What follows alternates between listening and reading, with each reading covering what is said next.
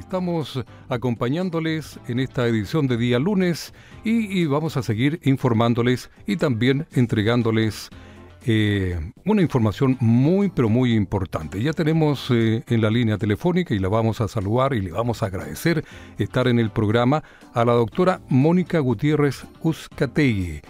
Ella es especialista en medicina interna, integrante del equipo de metabolismo y nutrición de la Clínica Clever Salud. ¿Cómo está, doctora? Muy buenas noches. Hola, buenas noches, Luis. ¿Cómo está? Encantada de participar contigo entonces hoy en esta conversación importantísima, creo. Así es, eh, doctora, muchas gracias por estar en el programa. Realmente es una buena ocasión, es una ocasión y que vamos a hablar sobre dos condiciones de salud que aunque a primera vista pueden parecer independientes, tienen una conexión muy profunda, sí, muy profunda de lo que podríamos imaginar. Hablamos de la obesidad y la osteoporosis. Ambas son preocupaciones significativas en esto de la medicina moderna, afectando a millones de personas en todo el mundo. Bueno, para profundizar en este tema, como decíamos, tenemos a esta hora la presencia de la doctora Mónica Gutiérrez, una destacada médico internista con una vasta experiencia en esto del tratamiento de enfermedades crónicas. Así que bienvenida doctora, comenzamos y le vamos a hacer varias preguntas. Eh, primero, partimos a ver si nos puede explicar qué es la osteoporosis y cuáles son sus principales causas. Claro, entonces mira, la osteoporosis es una enfermedad del hueso que se caracteriza por una disminución en su densidad y sobre todo en su calidad.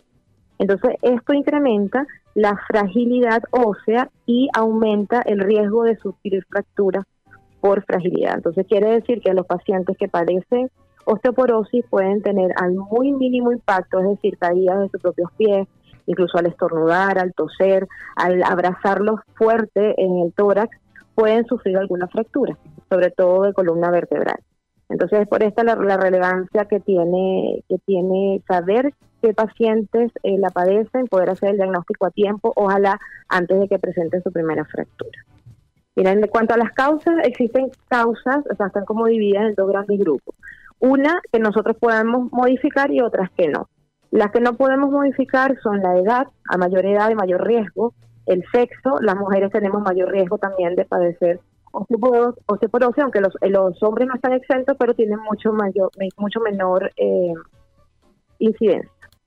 La genética, si tenemos antecedentes familiares de osteoporosis, sobre todo si hay antecedentes maternos de fractura de cadera, esto también incrementa el riesgo. Y la raza, los, eh, las personas de raza blanca tienen y los asiáticos tienen mayor riesgo también de sufrir. Ahora, en cuanto a los factores que nosotros sí podemos modificar, son la eh, ingesta de calcio y mantener niveles adecuados de vitamina D. El sedentarismo, el paciente que no hace ninguna actividad física también tiene mayor riesgo. El paciente que fuma y el que tiene un consumo eh, aumentado de alcohol. El que padece trastornos alimentarios como anorexia y bulimia. Los que tienen uso prolongado de corticoides. Los pacientes que se han realizado alguna cirugía bariátrica, que son las cirugías para bajar de peso los que usan eh, de forma crónica medicamentos para las convulsiones, protectores gástricos, hormonas tiroideas, anticoagulantes, algunos tipos de tratamiento para el cáncer, y también los que sufren algunas enfermedades hepáticas, como la cirrosis hepática, los que tienen insuficiencia renal, enfermedad celíaca, enfermedad inflamatoria intestinal, mieloma múltiple, algunos tipos de cáncer, artritis reumatoidea e hipertiroidismo son como las más eh, relevantes. Entonces, como pueden ver, son muchísimos los factores de riesgo que pueden producir la disminución de la masa ósea. Así es. Una buena explicación es la que estamos escuchando en la voz de la doctora Mónica Gutiérrez, esta destacada médico internista con una vasta experiencia en esto del tratamiento de estas enfermedades crónicas. Doctora, ¿existe una relación directa entre esto que estamos hablando de la obesidad y la osteoporosis?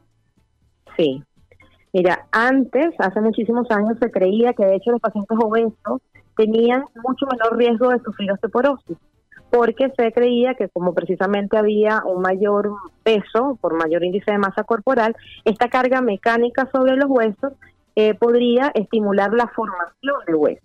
Sin embargo, en los últimos años los estudios han demostrado que los pacientes que viven con sobrepeso y obesidad es, es, es precisamente la grasa las que producen una cantidad de sustancias que son proinflamatorias y esta inflamación crónica que se produce en casi todos los órganos de nuestro cuerpo también afecta el hueso y aumenta la resorción ósea, es decir, está aumentada la pérdida del hueso y esto por supuesto predispone a tener osteopenia o tener osteoporosis. Perfecto. Eh, doctora, mm, aquí hay una pregunta que tiene que ver con la la osteoporosis, sí, eh, usted lo dijo, eh, ¿la edad influye notoriamente? Sí, sí, el, el riesgo eh, comienza en los hombres a partir de los 50 años y en las mujeres definitivamente desde después de la menopausia. Esto hablando como en una condición de envejecimiento normal, que no exista ninguna otra patología, como las que les dije previamente, que pueden acelerar esta pérdida antes de esa edad. Claro, y, en el caso de la mujer, aquí me dicen caso si la menopausia eh, marca un poco más. Sí, totalmente, porque mira, a nosotras las mujeres nos protegen los huesos precisamente la producción de estrógeno. Claro. Entonces, en el momento que nosotros comenzamos a producir menos estrógeno, comienza precisamente no solo a que se deje de formar el hueso, sino que comienzan a producirse sustancias que aumentan la pérdida, se llama la resorción ósea. Entonces, al aumentarse la pérdida de hueso, comienza, inicia este proceso eh, en el que va a depender también muchísimo de cuánto nosotros logramos alcanzar tener, formar hueso durante nuestra niñez y la adultez temprana. Más o menos hasta los 30 años nosotros eh, formamos hueso. Entonces, si logramos tener una adecuada formación, aunque comience la pérdida, generalmente no llega a nivel de osteopenia y osteoporosis, pero los pacientes que no llegaron a alcanzar una adecuada eh, masa ósea o que tienen una pérdida muy acelerada, entonces son los que padecen probablemente entonces o tienen el riesgo de padecer la enfermedad. Y en relación a esto, doctora Gutiérrez, ¿nos puede decir cómo afecta el exceso de peso a la salud ósea?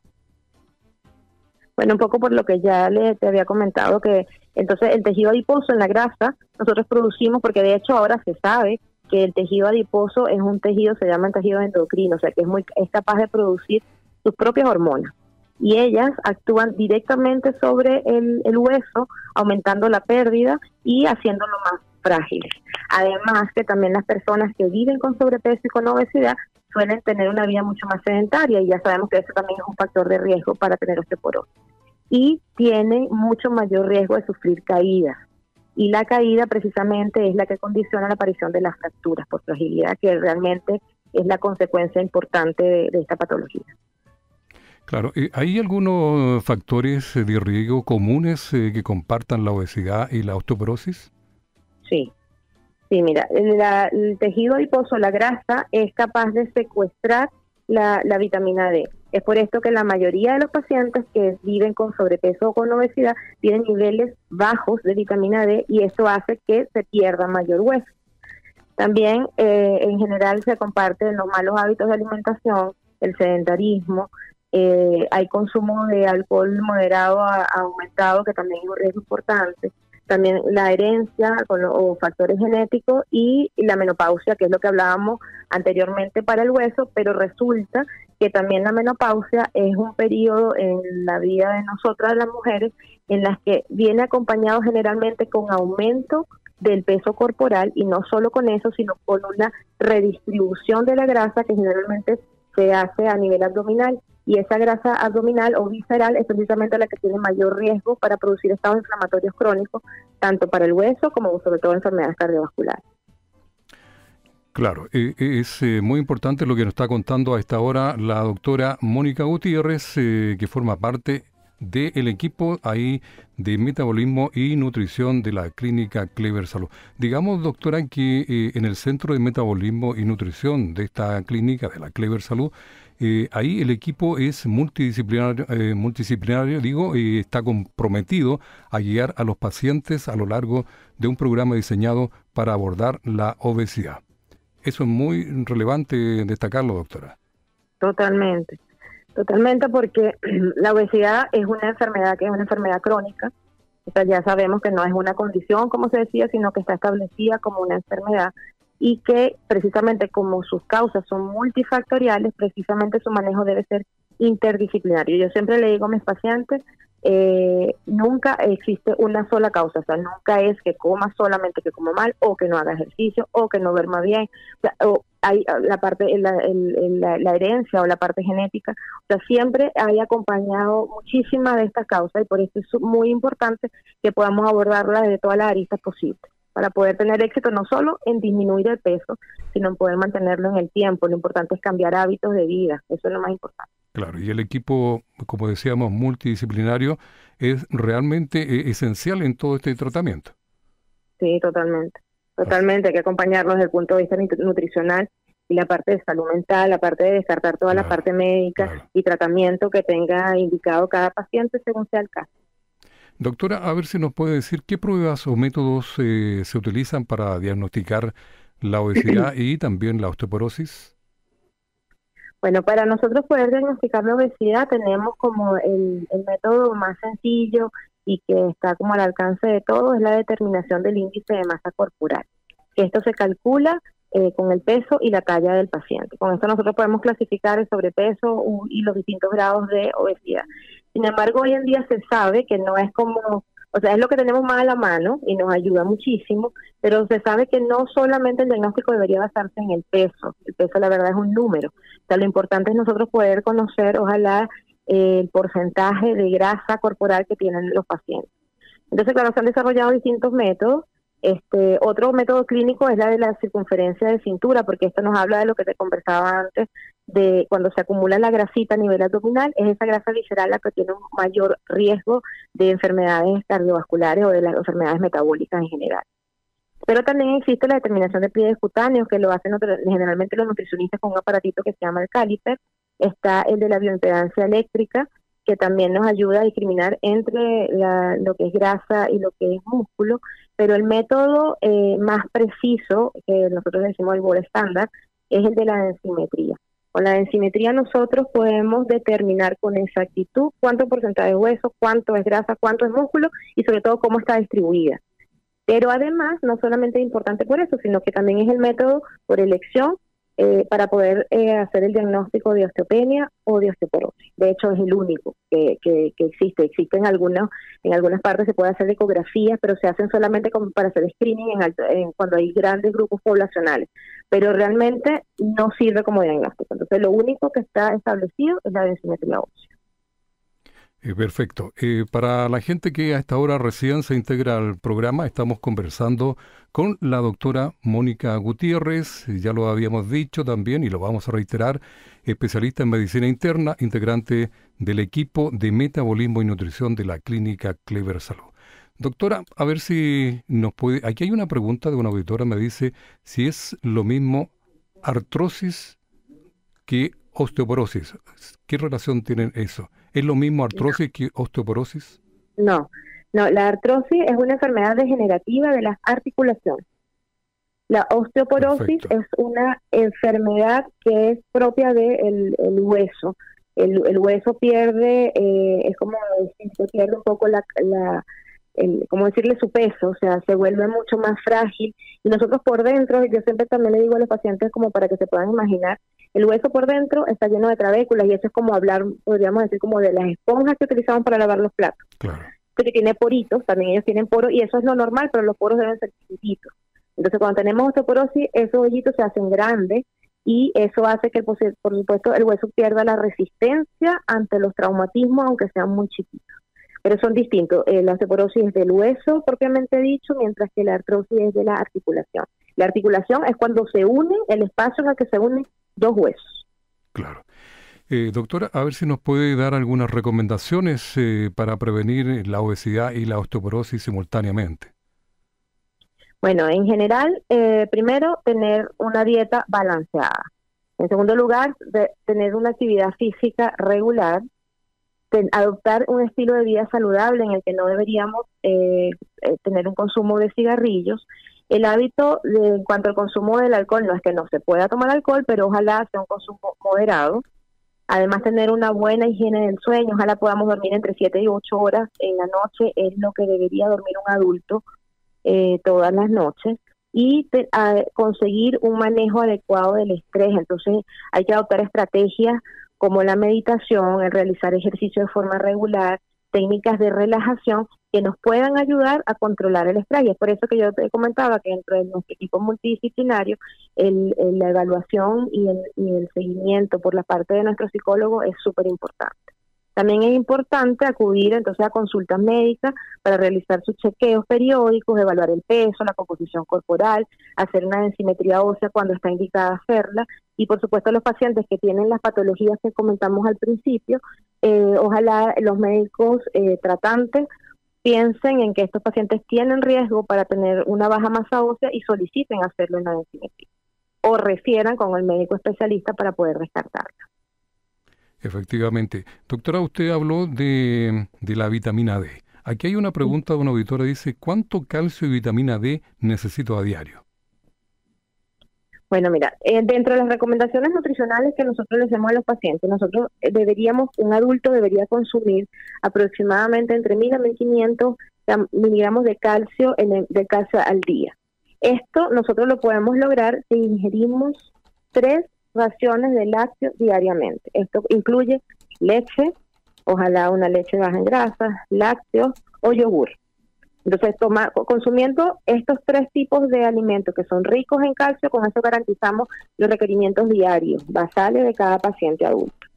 En cuanto a la vitamina D, la vitamina D es mucho más difícil porque la verdad los alimentos que contienen vitamina D tienen muy pocas cantidades. Entonces generalmente son los pescados grasos, la yema del huevo, alimentos que son fortificados, sin embargo uno debería consumir demasiada cantidad de alimentos, o sea, por ejemplo, serían 17 yemas de huevo al día, o sea, yo creo que nadie puede consumir eso diariamente. Entonces, eh, nosotros producimos, somos capaces de producir la vitamina D por la capa de grasa que tenemos debajo de la piel, que es el tejido celular subcutáneo. Y para esto es necesario exponerse al sol.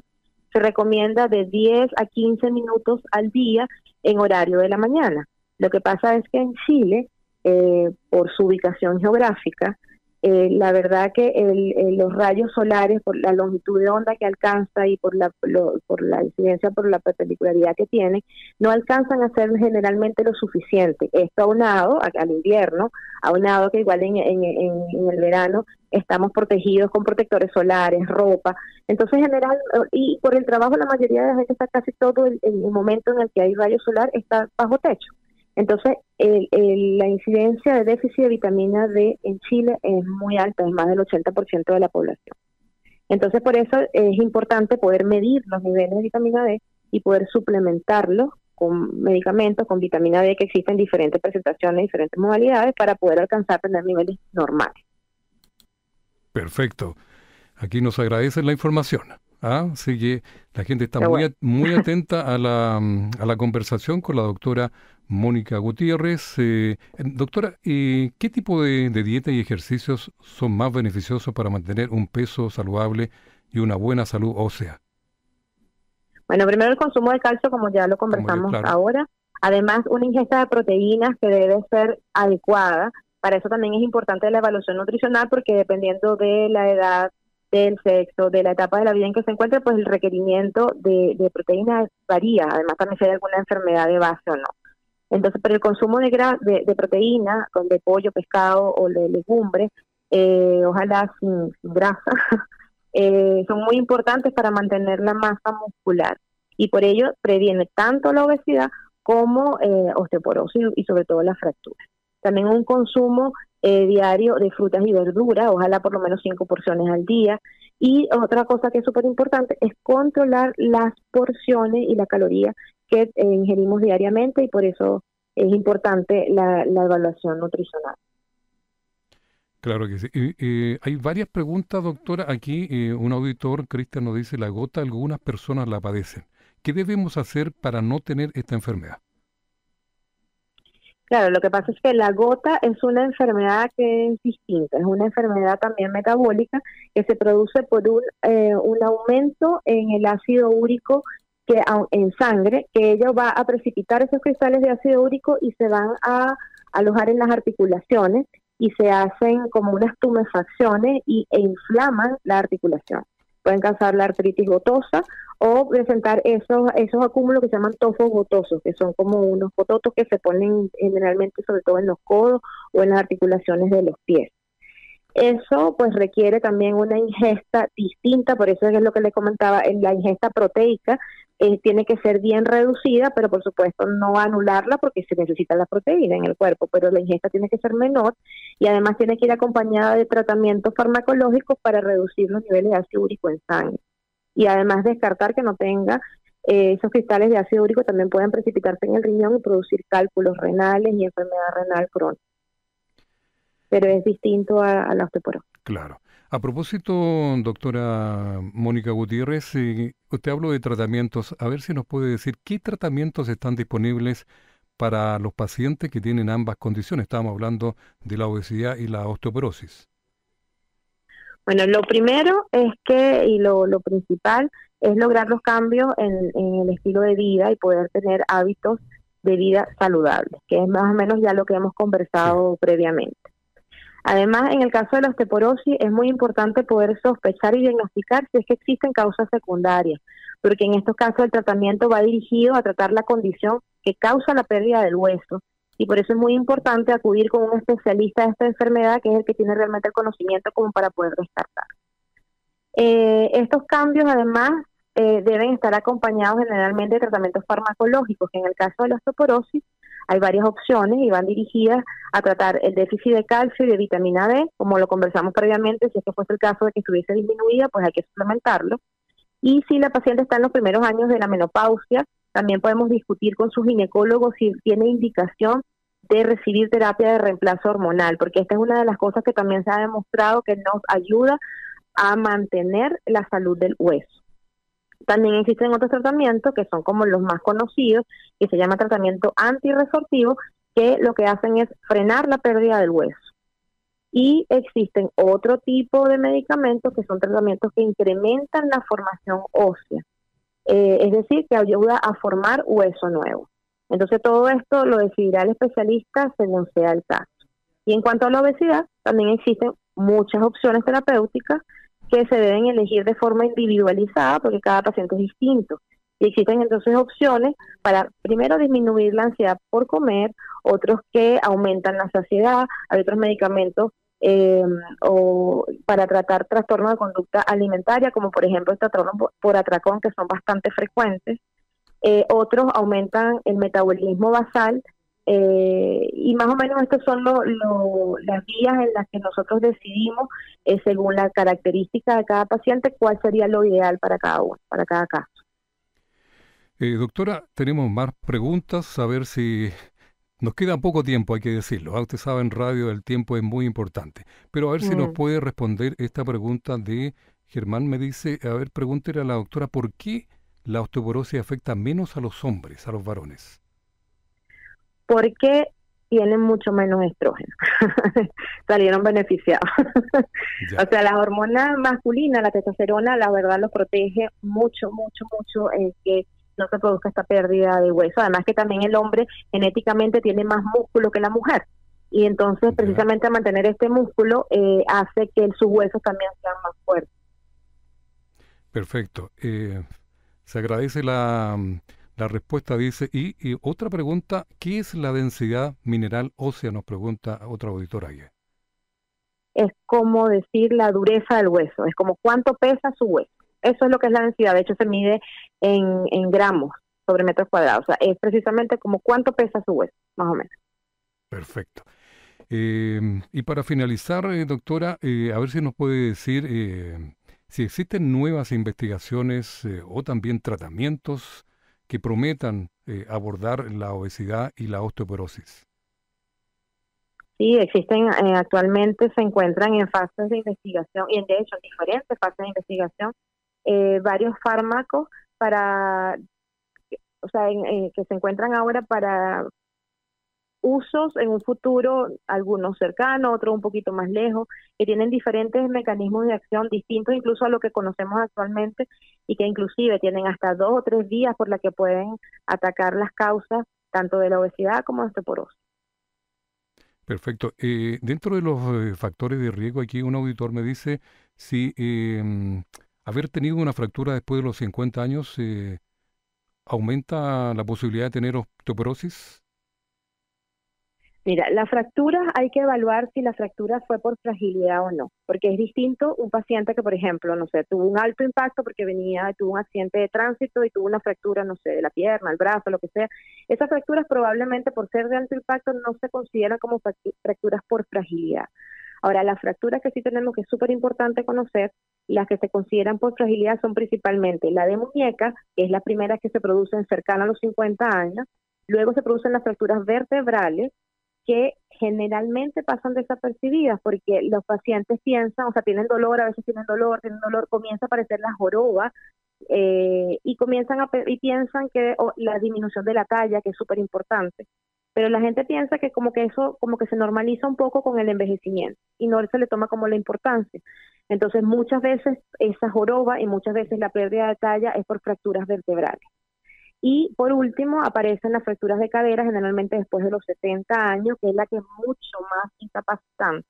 O sea, y son números tan alarmantes, Luis, como que después de sufrir una fractura de cadera, dentro del primer año después que se produce, uno de cada cinco pacientes fallece. Uno de cada tres pacientes va a quedar con una incapacidad permanente, o sea, con un paciente que queda postrado. Y ocho de cada diez va a tener como mínimo una incapacidad para realizar una actividad de su vida diaria, como asearse, vestirse, comer solo, etc. O sea que hay que darle la importancia del peso que tiene, porque no solamente para el paciente, sino lo que implica esto para la familia. Es súper importante. Mire, eh, bueno, como son varias las preguntas, voy a dar la última. Dice, eh, si una persona pesa menos de 55 kilos, es una, una, delgadez eh, que tiene más probabilidades de padecer osteoporosis, nos pregunta aquí esta auditora. Claro, con el peso solo no le puedo decir. Ahí tendríamos que asociar el peso con la talla. Y si le eso este índice de masa corporal nos da un bajo peso y sobre todo por las otras técnicas que yo les comentaba que nos permite conocer la composición corporal y saber sobre todo el porcentaje de grasa, que eso es lo que ahora define eh, la obesidad, el sobrepeso o el bajo peso. Si en efecto está por debajo de lo que debería ser, sí es un factor de riesgo para desarrollar este cuerpo. Claro, y, la otra pregunta que nos hace esta auditora dice, ¿la menopausia precoz también es un factor? Es súper, súper, súper factor de riesgo. Muy, o sea, es uno de los factores de riesgo, de hecho, más importantes. Buena pregunta. Sí, buena pregunta. Buena pregunta. No estaba dentro de, lo, de, todo lo que habíamos conversado, parece. Sí, es así. Bueno, eh, yo le decía, doctora, que se nos va el tiempo y le voy a decir, eh, para finalizar, ¿qué mensaje le gustaría dejar a toda la audiencia sobre la importancia de cuidar tanto el peso como la, eh, la salud ósea? Bueno, yo les quiero dejar varios mensajes. Yo creo que el primer mensaje que quiero que se lleven a sus casas es que tanto la obesidad como la osteoporosis la podemos prevenir. Que con todo lo que hemos conversado hoy, adoptando hábitos de vida saludables, eh, acudiendo regularmente a chequeo médico, dejando todo el consumo de, sustancias tóxicas, sabemos que podemos prevenir tanto la obesidad como la osteoporosis. El segundo mensaje que quiero que recuerden es que entonces la osteoporosis generalmente no causa ningún síntoma hasta que se produce alguna fractura por fragilidad. Entonces ya conversamos que hay que estar pendientes, fractura de muñeca, columna y cadera, sobre todo estos pacientes que se caen, se cayó la señora puso la mano para no golpearse y se fracturó la muñeca. Esas son las cosas que tenemos que estar pendientes para poder sospechar. Que una vez que un paciente tiene una primera fractura, aumenta en un 50% el riesgo de tener la segunda y así sucesivamente. Por eso es que es muy importante acudir a consulta para recibir tratamiento específico y reducir este riesgo. Y ojalá pudiéramos prevenir sobre todo la aparición de la primera, de la primera fractura. Entonces, sobre todo, también quiero que sepan que entonces que ambas se previenen desde la infancia.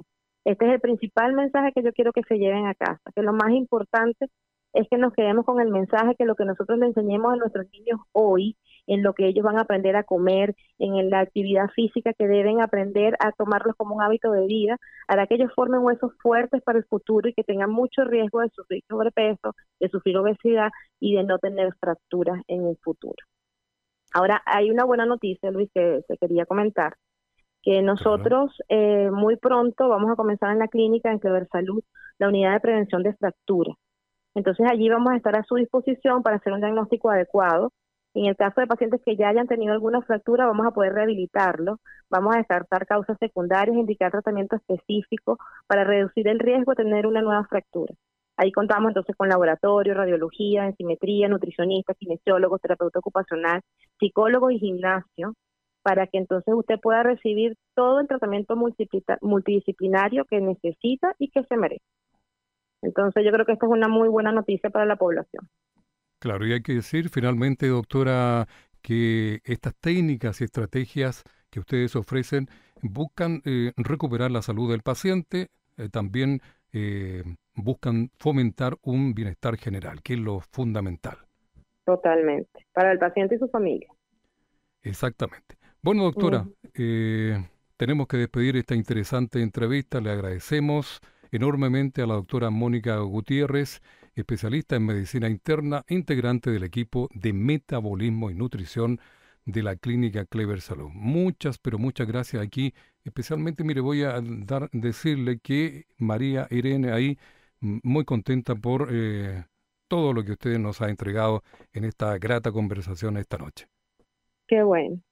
hay, hay, mucha gente que escribió muy interesante el tema, nos dicen, así que Esperamos que en otra mm, reunión, en otro programa, podamos seguir abordando esto y otros temas que son tan interesantes.